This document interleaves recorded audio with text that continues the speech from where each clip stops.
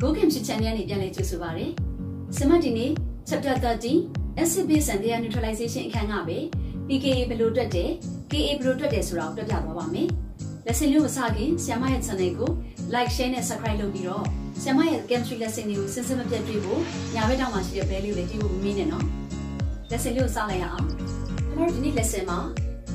Ka တန်ဖိုးပေးထားပြီးတော့ pKa တွက်မယ်။ ဒီလိုပဲ pKa တန်ဖိုးပေးထားပြီး Ka ဘယ်လိုတွက်တယ်လဲဆိုတာကိုဆ iam တွက်ပါမယ်။ပထမအဆုံးအနေနဲ့ဆ iam မိကု number 3နော်ဆ iam နဲ့အတူကြည့်လိုက်ရအောင်။ calculate the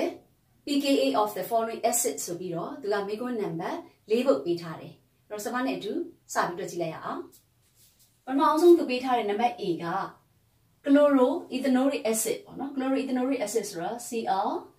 CH2 COOH အဲ့တော့ဒီ acid မှာသူက Ka တန်ဖိုးဘယ်လောက်ပေးထားလဲဆိုလို့ရှိရင်1.4 into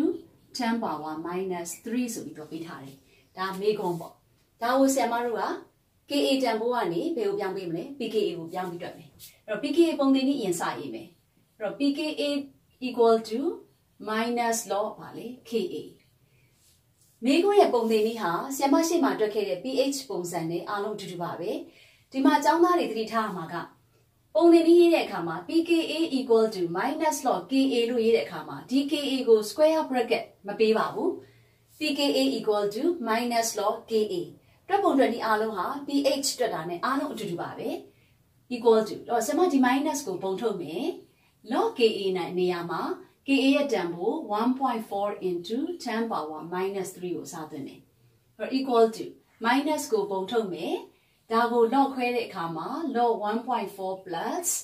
log 10 power minus 3ဒီလိုဖြစ်မယ်အဲ့ equal to minus ကိုပုံထုတ်မယ် log 1.4ကိုကျွန်တော်တို့ဗာကြည့်မလဲ log ကြည့်မယ်လောကြည့်တော့ဘယ်လောက်ရမလဲဆိုရင်0.1461ရမယ်ဒီမှာ1ဆိုတော့ကျွန်မဘာ point လဲ0 point ပေါ့ဒီ minus 3ကိုရှေ့ချလိုက်တော့ minus 3လို့ဖြစ်မယ် minus minus ကများတဲ့အတွက် minus 3 တွေကနေပြီး0.1461ကိုဘာလို့မလဲနှုတ်မယ်အဲ့တော့အဖြေပါရမလဲ2.8539ဆိုတဲ့အဖြေရမယ် minus နဲ့ minus နဲ့ကြည့်တော့နောက်ဆုံးရတဲ့အဖြေဒီဘယ်လောက်ရမလဲ2.8539ဆိုပြီးဒီလိုရပါမယ်။ဒါဟာပထမ A KA ကနေမှတွက်တာလေ PKA နောက်ထုတ်သွားရအောင်။နောက်ထုတ်ကဘာလဲဆိုလို့ရှိရင်နံပါတ် B ပေါ့နော်။အဲ့တော့နံပါတ် B ကဘာ acid လဲဆိုလို့ရှိရင်နံပါတ် B က hydrogen sal hydrogen cyanide နော် hydrogen hydrogen cyanide HCN နော် HCN သူ့ရဲ့ KA တန်ဖိုးကဘယ်လောက်လဲဆိုရင် KA equal to 4.8 into 4.8 into ဘယ်လောက်လဲ10 power minus 6ဒါသူပေးထားတာဒါကိုဆမတို့ပုံသင်နည်းတဲ့ထည့်ပြီးစသွင်းလိုက်ရအောင် pKa ကိုလိုချင်တဲ့အတွက် pKa equal to minus log Ka minus ကိုပုံထုတ်မယ် log 4.8 into 10 power minus 6ဒါ pH မှာလည်းဒီလိုပုံစံတွက်တက်ပြီးသားဖြစ်မှာပါဒါရှေ့မှာဆမ pH ပုံစံလေးအများကြီးတွက်ခဲ့ပြီးပြီဒါပေမဲ့ဆရာမကတွက်ပုံတွက်နည်းတူတော်လေးပဲမိကုန်းက PKA တွက်ခိုင်းတာနဲ့ pH တွက်ခိုင်းတယ်ဆိုပြီးတော့မေးခွန်းမတူဘူး။ဒါကြောင့်ဆရာမကတွက်ပုံတွက်နည်းဘလောက်ပဲတူတူ PKA လို့မေးရင်လည်းဒီလိုတွက်ရတယ်။ pH လို့မေးရင်လည်းဒီလိုတွက်ရတယ်လို့ဆရာမတွက်ပြတာပါ။ဆက်ပြီးတွက်ရအောင်။ minus ကိုပုံထုတ်မယ်။ အဲ့တော့ဒါကို log ခွဲမယ် log 4.8 plus log 10 power minus 6အဲ့တော့ equal to minus ကိုပုံထုတ်မယ်။ log 4.8ကိုဆရာမတို့ကြည့်လိုက်တဲ့အခါမှာ0.6812ရမယ်။ဒီ minus 6ကိုရှေ့ကိုချလိုက်တော့ minus 6 equal to minus ကတော့ minus ပဲအဲ့တော့ minus 6ဆိုတော့6ထဲကနေ0.6812ဆိုတော့နှုတ်လိုက်လို့ရှိရင်အဖြေက5.3188ရမှာပေါ့နော် အဲ့တော့ဒါကလည်းပါလေ minus ဒီကောင်ကများတာ oh minus များတော့ရှိမှာ minus အဲ့တော့ minus နဲ့ minus နဲ့ကြည့်တော့အဖြေဒီဘယ်လောက်ရမလဲ5.3188ဒါက number B စမနောက်ထပ် C နဲ့ D ကိုလည်းတွက်ပြပါဦးမယ်နံပါတ် C ကိုဆက်တွက်ရအောင် number C ethanolic acid CA3COOH Ka တန်ဖိုးက1.8 into 10 power minus 5 ပုံသင်နည်းရေးမယ် pKa equal to minus log Ka minus ကိုပုံထုတ်မယ် log 1.8 into 10 power minus 5 minus ကိုပုံထုတ်ထားအောင်မယ် log ခွဲတဲ့အခါမှာ log 1.8 plus log 10 power minus 5เนาะဒါစမုတ်တွတ်တက်နေပြီ minus log 1.8ကိုစမဘာလုပ်ကြည့်မလဲ log ကြည့်တဲ့အခါမှာ0.2553 minus 5ကိုရှေ့ချမယ် minus 5အဲ့တော့ဆရာမက minus ကိုပုံထုတ်မယ်ဒီက5က minus ဆိုတော့ minus ကိုအရင်ရေးလိုက်မယ်အဖြေကဘယ်လောက်ရမှာလဲနှုတ်လိုက်တော့4.747 4.7 44ဘလောက်လဲ7ဒီလိုရမယ် minus နဲ့ minus နဲ့0 4.7447เนาะဒါအဖြေရတယ်ဒါက number C တော့နောက်ထုတ်သွားမယ်နံပါတ် D ကိုသွားရအောင်နော်အဲ့တော့နံပါတ် D ကသူကဘာပေးထားလဲဆိုလို့ရှိရင်အာဟိုက်ဒရိုဂျင်ဆာလ်ဖိတ်အိုင်ယွန်ဟိုက်ဒရိုဂျင်ဆာလ်ဖိတ်အိုင်ယွန်ဆိုတော့ HSO4- သူ့ရဲ့ Ka တန်ဖိုးကဘယ်လောက်ပေးထားလဲ1.2နော်1.2 into 10 power minus 12ဒီလိုပေးထားတယ်။စောစောလိုရတော့ပါမယ်။ဆမ်မနဲ့ဒူလိုက်တွေ့ရအောင်နော် pKa equal to minus log ပါလေ Ka minus ကိုပုံထုတ်မယ်အစားသွင်းမယ် log 1.2 into 10 power minus 12 minus ကိုပုံထုတ်မယ် log 1.2 plus log 10 power minus 12 minus ကိုပုံထုတ်မယ်အဲ့တော့ log 1.2ကိုဆမတို့ဗာကြည့်မလဲ log ကြည့်မယ် log ကြည့်လို့ဘယ်လောက်ရလဲ0.0792 minus 12ကိုရှေ့ချလိုက်မယ် minus 12အဲ့တော့ equal to minus minus ဒါဆို12ကနေကြာကိုဘာလုပ်ရမလဲနှုတ်ရင်အဖြေကဘယ်လောက်ရမှာလဲ minus 11.9208 equal to minus နဲ့ minus နဲ့ကြည်သွားတဲ့အတွက်အဖြေက11.9208ဆိုပြီးတော့ဖြေရပါမယ်အဲ့တော့ဒါက KA ပေးထားပြီး PKA ကိုတွက်ခိုင်းတာ၄ပုတ်ပြီးသွားပြီနောက်ထပ်ဆ iam က PKA ပေးထားပြီးတော့ KA ပြန်တွက်မယ်ဒီခါကျရင်တော့ဆ iam တို့ ဒီလိုတွက်နည်းကိုနောက်ထပ်တစ်မျိုးဖြောင်းပြန်ပြန်တွက်ရမှာဖြစ်တယ်ဆက်တွက်ရအောင်ဆ iam တို့နောက်တစ်ပုတ် PKA ပေးထားပြီး KA တွက်ခိုင်းတဲ့ပု္ပ္ပစာအမျိုးအစားကိုသွားရအောင်ဆ iam နဲ့ဒီမျိုးကိုကြည့်မယ်နော်မိကုန်းက calculate the KA having the PKA values of 9.3 2.9 4.7နဲ့3.8ဆိုပြီးတော့၄မျိုးပေးထားတယ်။ပေးထားတဲ့ပု္ပ္ပစာ၄မျိုးစလုံးကကိန်းဂဏန်းအားလုံးဟာဓာတ်သမနဲ့ပေးထားတာကိုတွေ့ရတယ်။ ရှေ့မှာဆရာမတို့တွေ့ခဲ့တဲ့ PKA တန်ဖိုးတွက်ပုံတွက်နည်းနဲ့နည်းနည်းလေး꿰ပါလိမ့်မယ်။စပြီးကြည့်ရအောင်။ပထမအဦးဆုံးနံပါတ်ပါလေ A ပေါ့နော်နံပါတ် A မှာ PKA တန်ဖိုး9.3သူပေးထားတယ်။ PKA ပေးပြီး KA တွက်ခိုင်းတာပဲဖြစ်ဖြစ် KA ပေးပြီး PKA တွက်ခိုင်းတာပဲဖြစ်ဖြစ်ဆရာမတို့က PKA ပုံသိမ်နည်းကိုစပြီးတော့ရေးရပါမယ်ဒီတော့ဆရာမကပေးထားချက်မှာ PKA ပေးထားလို့ PKA equal to minus log KA ဒီလိုရေးလိုက်ပြီလိုချင်တာကဆရာမတို့ကဘာကိုလိုချင်တာလဲ KA ကိုလိုချင်တာပေးထားတာကပါလေ PKA ဒါကြောင့်ဒီပုံသိမ်နည်းကိုဆရာမတို့ဟိုဘက်နဲ့ဒီဘက်နဲ့ဘာလုပ်လိုက်မလဲလဲလိုက်မယ်လဲလိုက်တော့ဆရာမကဒီဘက်ကိုဆရာမကလိုချင်တဲ့ log KA equal to minus pKa လို့ဆရာမပြောင်းလိုက်ပါမယ်။ဟောဒီလိုပြောင်းတဲ့အခါမှာဆရာမက Ka လိုချင်လို့ဆိုပြီးတော့တခါတည်း Ka ကိုဒီဘက်ကိုရွှေ့လို့မရပါဘူး။ဒါကြောင့်အခုဆရာမတွေ့ပြတဲ့အတိုင်း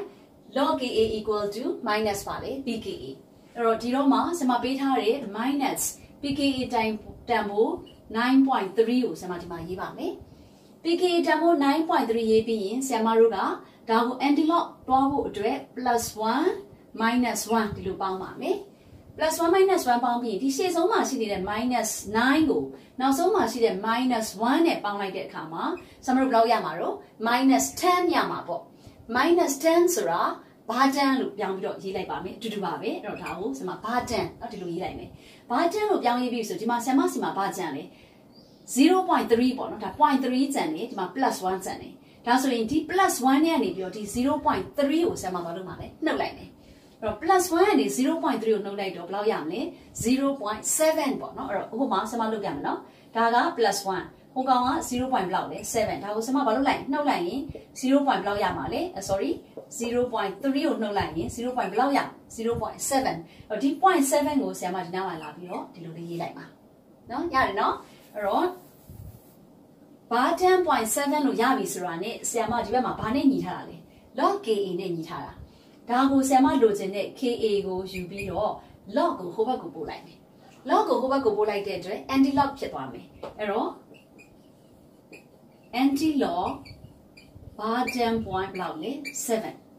တော့ anti log ကြည့်မယ်အဲ့တော့ anti log ကြည့်တဲ့အခါမှာဒီ0.7ကိုပဲ anti log ကြည့်မယ်ဘယ်လောက်ရမလဲဆိုလို့ရှိရင်ဆမ်မာကအာ5012ဒီလိုရမယ်အဲ့တော့5012ဒီမှာရှိတဲ့ဘာတန်းကိုတော့ into 10 power minus 10လို့ဆမ်မာပြောင်းရင်းမယ်ဒီမှာတက်သမဖြတ်ဖို့အတွက်ဒီမှာ0 point ဖြစ်တဲ့အတွက်ဆမ်မာပါလဲ1 point တစ်လုံးဖြတ်တယ်1 point တစ်လုံးဖြတ်တော့ဆမ်မာက 5.012ဆိုပြီးတော့ဖြေရမယ်ဒါဘာရဲ့တန်ဖိုးလဲ KA ရဲ့တန်ဖိုးအဲ့တော့ PKA မှာတော့ဆမ်မာ unit မထည့်ရဘူး KA မှာတော့ဆမ်မာတို့ molarity ဆိုတဲ့ unit ထည့်ရပါမယ်โอเคအဲ့တော့ဒီပုတ်ပြီးသွားပြီဆမ်မာနောက်တစ်ပုတ်ဆက်ပြီးတွက်ပြပါမယ်အဲ့တော့နောက်တစ်ပုတ်ကဆမ်မာတို့ B ပေါ့ B ရဲ့ PKA values ကဘယ်လောက်ပေးထားလဲဆိုရင်2.9အဲ့တော့2.9ကိုဆမ်မာနဲ့တွက်တယ်ပုံသဏ္ဍာန်ရေးမယ် PKA equal to minus log ပါလေ KA အဲ့တော့ဆမ log KA ကိုဘယ်ဘက်ကိုပို့လိုက်မယ် log KA equal to ဟိုဘက်ကိုဘာဖြစ်သွားလဲ minus ဒါ minus ဒီ PKA ကဟိုဘက်ကိုပို့လိုက်တော့ minus เนาะ PKA ဒီလိုဖြစ်မယ်ပေါ့အဲ့တော့ပုံသဏ္ဍာန်အစားထိုးမယ်ခဏ minus PKA နေရာမှာ minus 2.9 2.9ရေးပြီးတာနဲ့ plus 1 minus 1ဒီလိုရေးမယ်ရှေ့ဆုံးမှာရှိတဲ့ minus 2နဲ့နောက်ဆုံးမှာရှိတဲ့ minus 1ကိုပေါင်းလိုက်ရင်3ပေါ့နော် minus 3ဒါကိုဆက်မဘာ3လို့ရေးလိုက်မယ်ဘာ3ရေးပြီးရင်ဒီမှာရှိတဲ့ plus 1နဲ့ကနေပြီးတော့0.9ကိုနှုတ်လိုက်ရင်1နဲ့ကနေ0.9ကိုနှုတ်လိုက်တော့1ဆန်မှာပေါ့နော်ဘာ1လဲ0.1ဆန်တယ်0.1ကိုဆက်မဒီနောက်မှာရေးလိုက်မယ်နော်ဘာ3.1ဆိုပြီးလို့ရတယ်အဲ့တော့ KA ကိုဒီဘက်ကိုထားခဲ့ဟိုဘက်ကိုသွားတော့ဘာဖြစ်သွားမလဲ anti log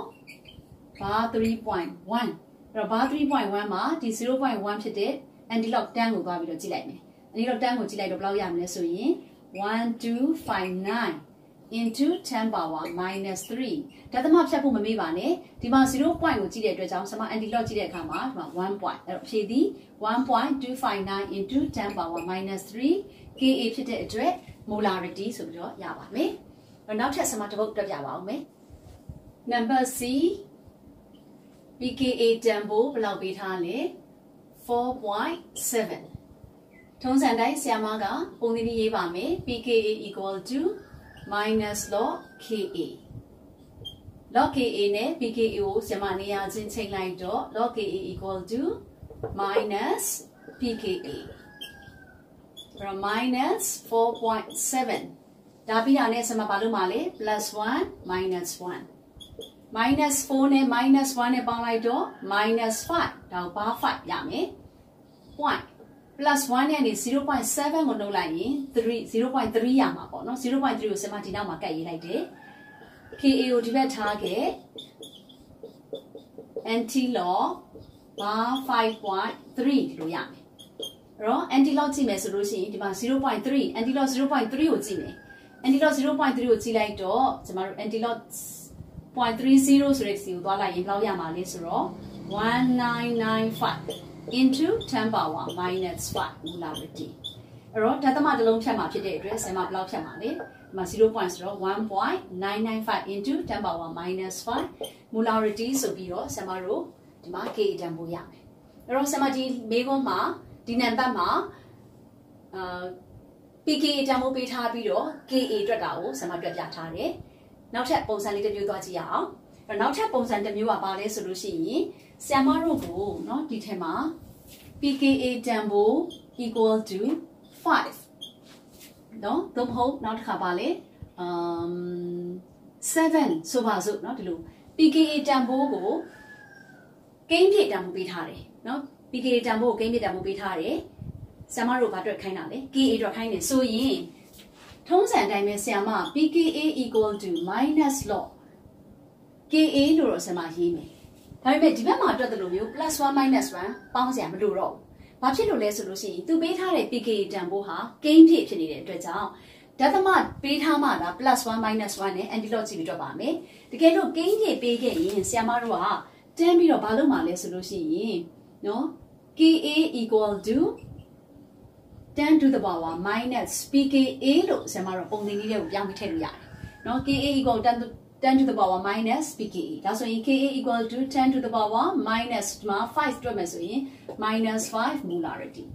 เนาะနောက်တစ်ခုသွားမယ်เนาะတကယ်လို့ဆရာမ7ကိုတွက်ချင်တယ်ဆိုလို့ရှိရင်လေပုံသင်လေးရေးလိုက် pKa equal to minus log Ka လို့ရေးလိုက်ပေးထားတာဒီကိန်းမြင့်ဖြစ်နေတဲ့အတွက်ကြောင့်ဆရာမတခါလေး Ka equal to 10 to the power minus pKa ဆိုတဲ့ပုံစံကိုဒီကနေဒီကိုတစ်ခါလေးထားလိုက်ပြောင်းလိုက်တယ်။ဘာဖြစ်လို့တော့သူပေးထားတဲ့ pKa တန်ဖိုးကကိန်းမြင့်ဖြစ်နေလို့အဲ့ တော့ equal to 10 power minus 7ပေးထားရတဲ့ pKa နေရာမှာ7 unit လေးထည့်လိုက်မယ်မူလာတယ်။ pKa တန်ဖိုးကိုသူမျိုးစားနှစ်မျိုးဖြစ်နိုင်တယ်။တစ်မျိုးကဒီလိုမျိုးဓာတ်သမနဲ့ပေးတာရယ်တစ်မျိုးကဟိုဘက်ကလိုကိန်းပြည့်ပေးတာရယ်။ဓာတ်သမနဲ့ပေးခဲ့ရင်ရှေ့မှာဆရာမတွက်ခဲ့တဲ့နံပါတ်တွေအတိုင်း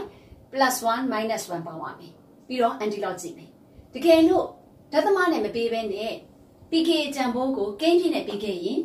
formula ကို Ka equal to 10 to the power minus pKa လို့ပြောင်းရေးပြီးတော့မှသူပေးထားချက်ကိုရေးလိုက်ပြီးတော့10 to the power minus 5 10 to the power minus 7စသဖြင့်ဒီလိုမျိုးထည့်လိုက်တာနဲ့အဖြေထွက်ပါမယ်ဒီနေ့သင်တဲ့ chapter 13 lesson 9မှာဆင်မတို့ Ka တန်ဖိုးပေးပြီး pKa တွက်တာရယ် pKa တန်ဖိုးပေးပြီး Ka တွက်တာရယ်ကိုတွက်ခဲ့ပြီးပြီဒီနေ့ lesson လောက်ပါပဲ See you next lessons. Bye bye.